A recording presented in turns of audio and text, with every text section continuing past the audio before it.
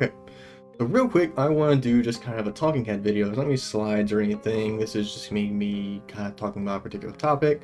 That topic being basically what is a computer by today's standards, or any standard by that matter. But I kind of just want to do this as kind of a breakdown for people that may not be super familiar with computers in general, and just kind of give some very not super deep look into it. It's going to be deep in a few ways, but I'm not going to go into very, very specific detail on a lot of things. I just want to kind of get a all different parts of computer and then some of the differences between computers that you see today. So I'm going to start with, I guess, I've got a lot of stuff on my desk, so I'm going to be moving around quite a bit, showing things off. So I guess we start with, let's do this one. Let's just see this is what I want. Yeah, this is the one I want. Okay. So basically we start with the basic CPU. So we have to have something to do computation. So this is just a, a second gen AMD Ryzen CPU. It was in my old desktop and it's been replaced since then. So it's just here, just sitting on my desk right now. I'm going to use it again later, but regardless, that is what is known as the CPU. So it is a central processing unit, and essentially its whole goal is to do all the computation and operations that our CPU needs to do. And I say CPU in that case because there's different coprocessors I'll talk about in a bit, but all the main operations in our computer are handled by the CPU, and there are a few components inside of that. The most important ones would be the ALU, which is an arithmetic logic unit, which does all the logical and arithmetic-based operations inside of it. And then there's also some registers that would be cache, which would be internal memory. And that leads us to the next one, which would be, and you've probably heard of a lot more, would be RAM. So this is just a laptop uh, LPDDR stick of RAM, pretty old. But at the end of the day, RAM is random access memory and it is used as the main memory of your system. So every time that you open up an application or something, any variables or data that is generated by that program, by that application is stored in RAM. It's used quite, quite a lot. That's why you need a lot of it. That's when you open a web browser and you start opening up new web pages over and over, new tabs. The more tabs you have, your web browser is going to eat up quite a lot of RAM because all that data has to be stored somewhere. So the computer knows what it is. You can just open up the web browser and it's like, all right, here's a web browser and just be done with it. Can't do that because then it wouldn't know what to access. It wouldn't have any idea what that is. So we take the data, we store it somewhere temporary. Instead of random access, it just puts it somewhere in RAM and you're good to go. It doesn't care about the actual location. There is a different type of memory. I'll touch on in just a second, but for RAM, that's just where all the data goes that's going to need a lot of it. So if you ever have somebody say, oh, I need to speed up my computer, I just need to add more RAM to it, there's some merit to that. There's some truth there. If you have a low amount of RAM, then if you're doing some RAM heavy applications, yeah, adding more is going to help quite a lot. But the one that most people are probably familiar with is going to be one of these guys. Or, well, specifically, maybe one of these or more familiar for a lot of people, would be one of these, which is basically just going to be a form of storage. So a hard drive would be this, it's just a metal platter in there with a, I guess a, uh, a head, like a needle with a magnetic tip on it that's constantly writing ones and zeros to that disk using a magnet. So it physically writes the data, which is why these hard drives are typically slower than the more now common and much more useful, in my opinion, a lot better format, and they've gotten a lot cheaper and better over the time, but they are SSDs. So that'd be an mSATA one. This is going to be very, very common, M.2. I think it's an NVMe one, but I digress. But essentially, the whole point of storage is that you need to store your data on your computer in some place that is going to permanently reside. So unlike RAM, where it's just completely random and it goes away because it's a volatile memory, it just goes away when it's done. So okay, I don't need this anymore. poof, it's gone. With storage, it'd be a hard drive or a SSD, which is a solid state drive. That resides over the course of time. And you might not see the individual parts because every single one of your phones and whatnot, or your laptop, they don't have it inside of it in some form. Maybe you're more familiar with, uh, it? One of these. It's the USB. Same thing. Some form of storage, flash storage, that you can just write data to, take it out, plug into another one, same data is there, you're good to go. So we have some form of permanent storage. So we have the CPU at the heart, which does all of our computations, all the logic the computer needs to do. Then we have RAM, which stores all the data that the CPU is processing. So essentially the CPU is working, it works in tandem with RAM. The CPU does some computation, stores its result in RAM, and then we take that, if we need it to be permanent, we store that into our actual storage, and that is the three main components of a general computer. Now there is one missing component, and it's probably not what you'd be thinking, but it would be I.O. So something like a monitor or a keyboard or something like that.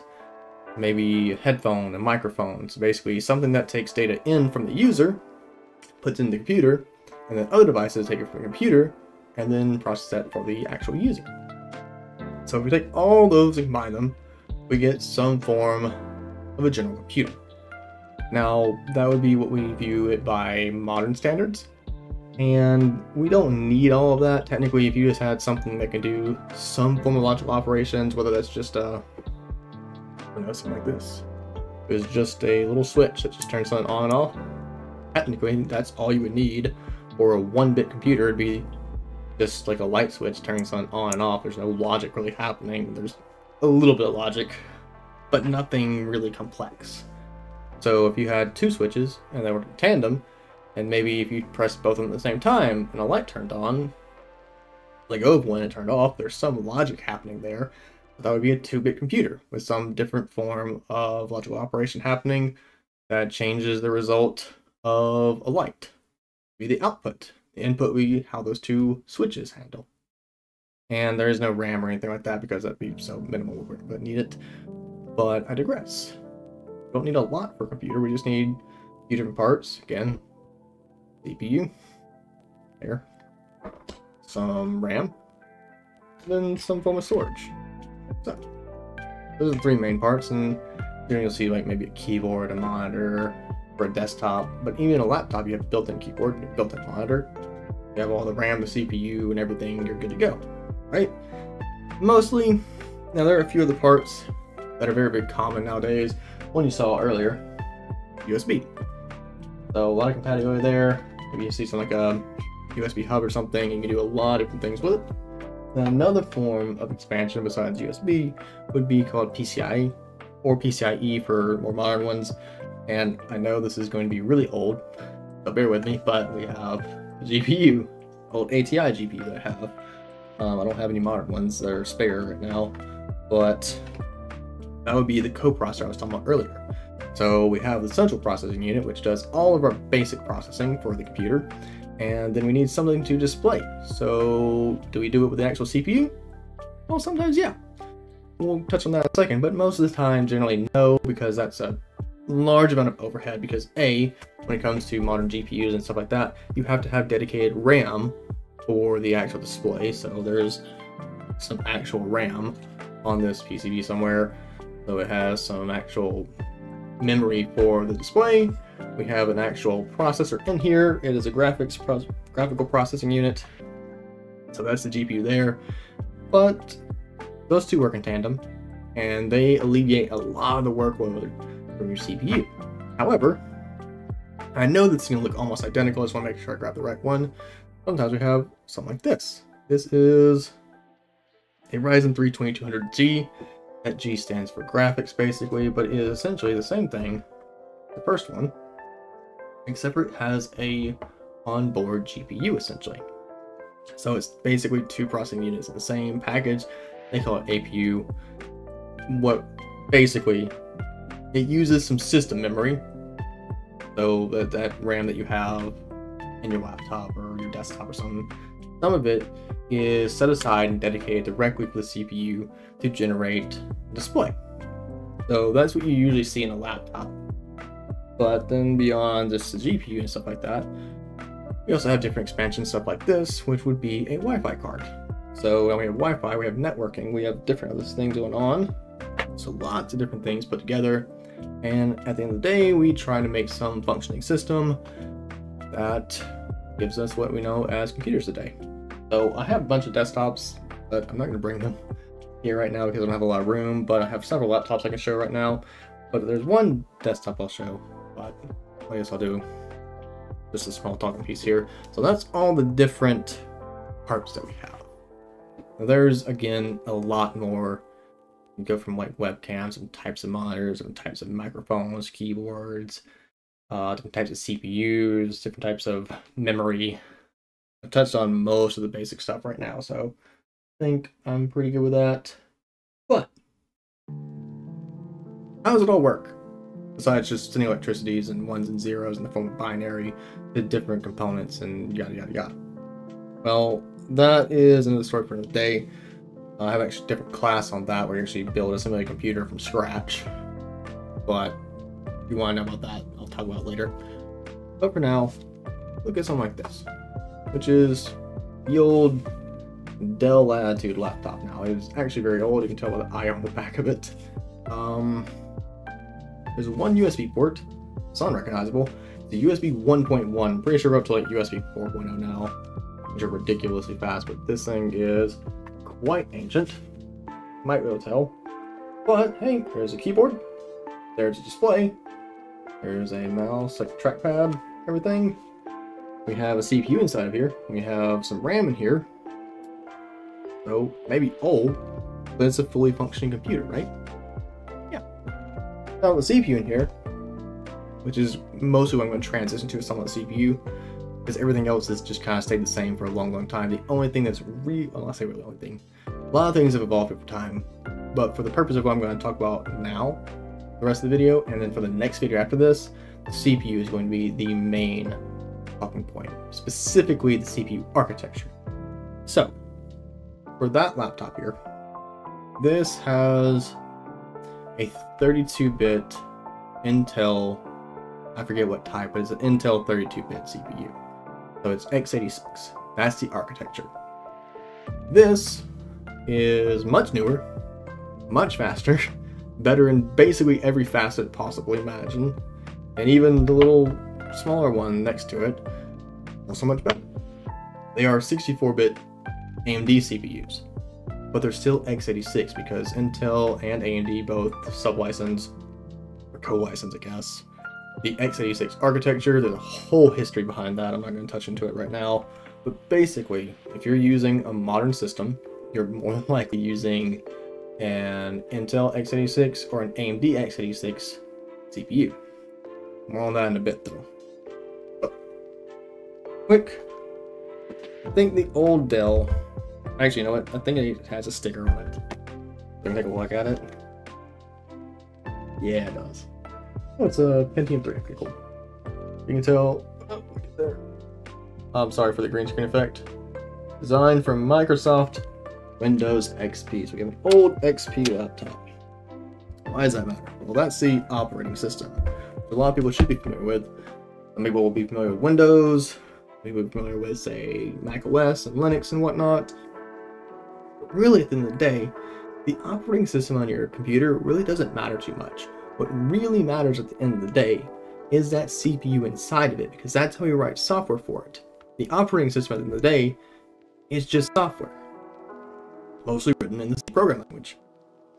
So just like this, which would be a much newer, but still pretty old, ThinkPad is a Chromebook. Familiar with that? It's just a regular computer, and it had Chrome OS on it which is a variant of Linux. But at the end of the day, it still had, had a 64-bit Intel CPU, and you'd write software to it just the same as you would the 32-bit. For the most part.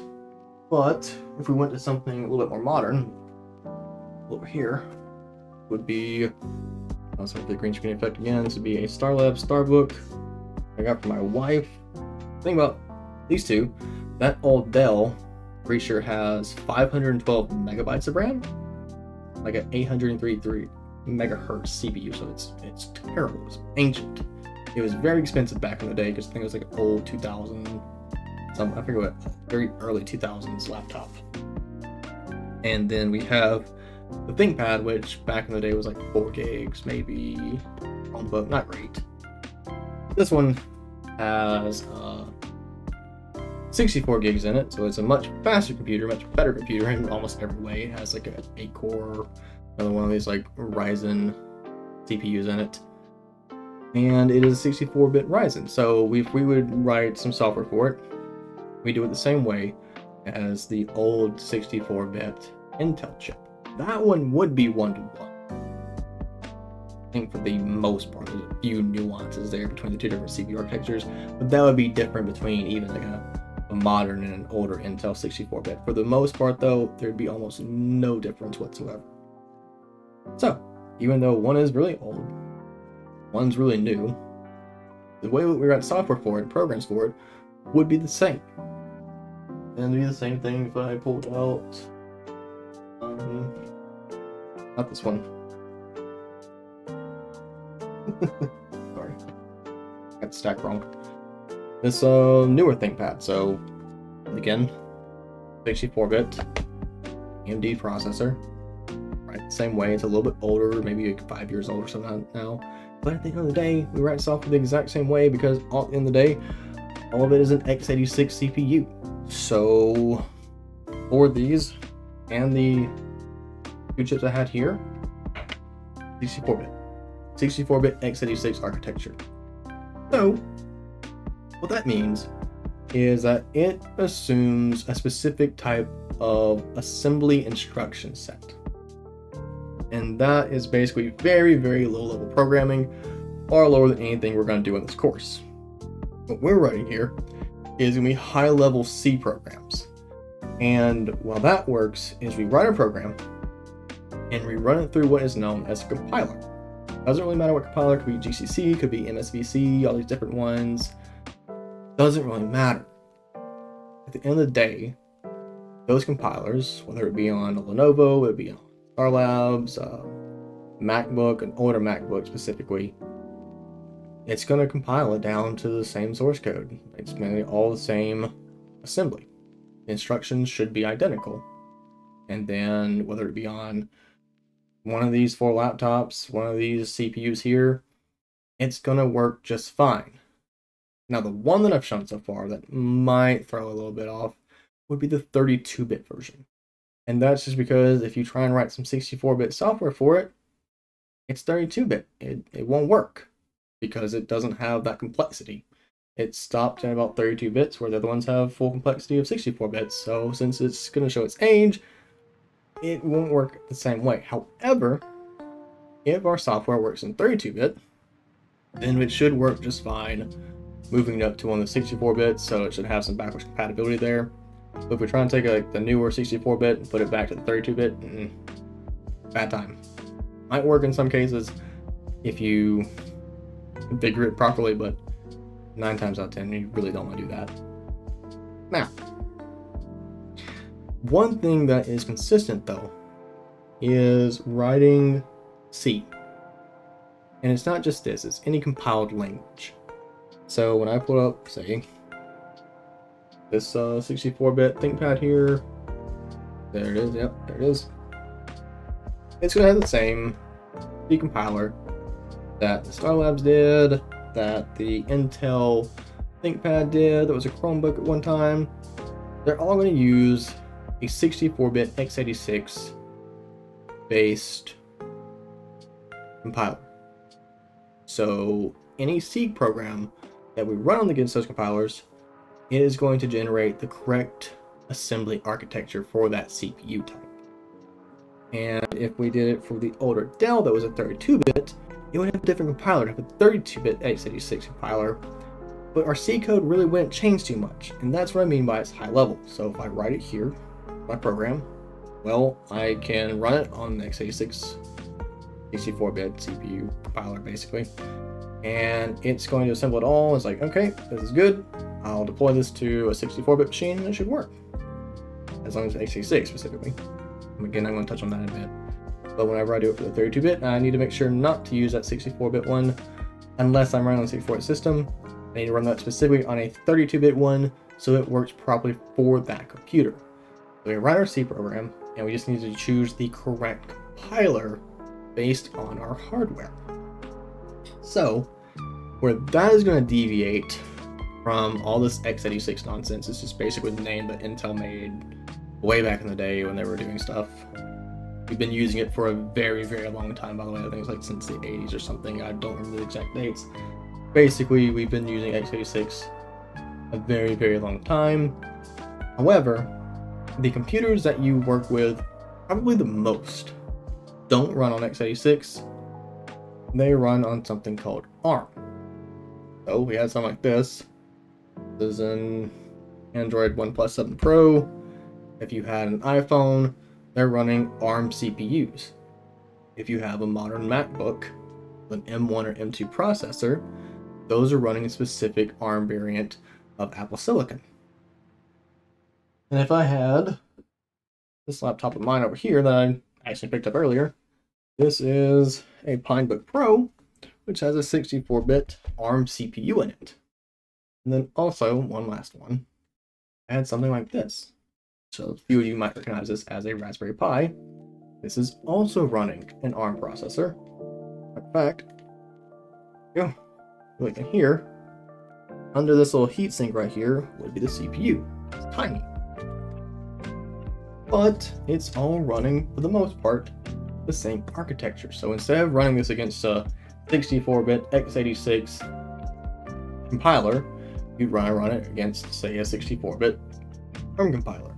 Then it would take your C code that you run against all of them and compile it all to the correct architecture. So we have a high-level language we write our code once, and we want to just come throw it against a different compiler for the correct hardware. So, it's generally not too bad. There's a lot of moving parts again. So we moved from like the CPU, the RAM and all that, some logical operations, and then talked about different architectures and how it all comes back together to writing software for computers. So you write the code, we understand what our hardware is, get the correct compiler, and if some of it all corrected to the hardware have, we're good.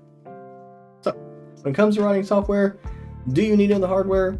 Not specifically too much. The main part that you want to keep in accommodation is going to be your CPU architecture because you compile it for the wrong system, you're going to have a bad day. And then also, if you have anything that's going to be like very, very large amounts of data, you might want how much RAM you have in your system or you're going to overload it and have also a very bad day. So, is that all that a basic computer is? the most part. Now, I guess uh, how long am I going for? 23 minutes, a little bit longer. So, let's go to a different type of computer. We have basic laptops, a little small desktop, I mean, there's still an HDMI cable in here, some USB ports, etc., etc. So it's basically as much of a modern computer as a basic desktop. However, what if we went to something like this? Just an old Game Boy Advance SP that I have. Is your computer? Well, take a look. We have a basic just shell in case we open it up. Well, there's a display. Green screen effect. And this isn't a keyboard technically, but it would be input. So we have some form of input. We have some form of output, speakers and whatnot as well. It has I.O. There's a little bit of RAM in here. I forget the exact amount there are actually two CPUs in it. And is there storage? Uh, there's not necessarily storage. You don't really need to be storage. You're not really storing anything generally. For the most part. So, can we write software for it? We have to be able to. Let's run something. If I turn it on, it'll work. Green screen effect. Sorry. Try and get the right angle on it. Yeah, you see it runs Game Boy, and, and yeah. Turns on, we have some I.O. There's a CPU in it. There's a display out. There's some input buttons to it. We have a fully functioning computer.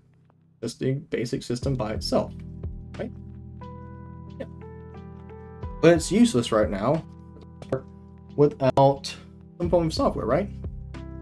Well, if you've ever used one, or a Nintendo Switch, or any other cartridge-based uh, console, you should recognize these. The old cartridges. So these have basically all the software that you want to write for the actual systems. Put it in there, pop it open, and green screen effect. You see it says, Hello world, how are you? Can I actually get that on screen? Oh, there it is. Hello world, how are you? Right. So yeah. This would be some software I wrote for the Game Boy Advance. Well, it's actually for the Game Boy, the original one. I just, I know that if I do the original Game Boy on here, it'll green screen worse. You just can't see it at all. Let me look around real quick. Oh no, ah, here it is. Another one. So this would be one program that I wrote, compiled, and everything is right for the actual CPU architecture. Another one. If I pop it in here, eventually, let me run it. Do this. Angle, and it just says hello world. Yeah. So, have the CPU. Let's display out. Obviously, there's a GPU can generate a display. That's a RAM two CPUs. One CPU for Game Boy Advance stuff, and then the second one is like an 8-bit CPU for like backwards compatibility, running your basic Game Boy games. So yeah, full function computer. We can write software for it. Good to go. Not too much different than your bog standard laptop and whatnot. It's just become a lot more streamlined. Even modern consoles are far more in line with just your basic run-of-the-mill general computer. So yeah, that's basically the ins and outs. Very, very high level view of what computers are. And it's a little bit me rambling for a lot of different topics. So at the end of the day, I hope this all made sense. I hope you did learn something. I hope it was fairly entertaining to the most part. Uh, watching me try to get all these different things together. Struggling just a little bit, but hopefully it's not been too bad. Anyway, that's all I got. I'm going to talk a bit more about actually writing software in the next video, so hopefully I'll see you then. See you later.